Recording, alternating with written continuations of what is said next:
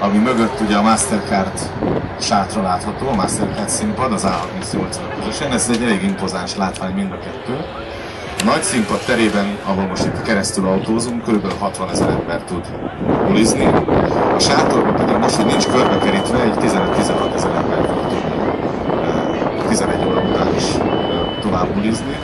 Megújítottuk a nagy színpadnak a dizájnját, értelemszerűen az Island of Freedom után most a Love Revolution kapta a fő hangsúlyt a színpadon, illetve ez a uh, 8-ig számozott LED freeze, ami körbefut a színpadon, ez majd egészen különleges uh, látványvilágot fog tudni a, mind a koncertekhez, mind pedig a, a egyébként a szünetekben szolgáltatni. Uh, aki nem ismeri meg, ahol a számok vannak, tehát 1, 2, 3, 4, 5, az a, az a LED freeze, és a két LED fal, ami a két oldalán van, csak egy érdekesség, ez, ez annyi négyzetméternyi LED, ami 5 éve a szigeten összesen az összes színpadon.